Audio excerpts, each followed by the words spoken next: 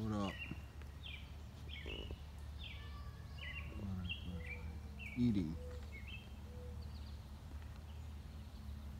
I know what it's eating, it's eating a lot. Taking a rest and chowing. Oh, there's his friend. There, two monarch butterflies together.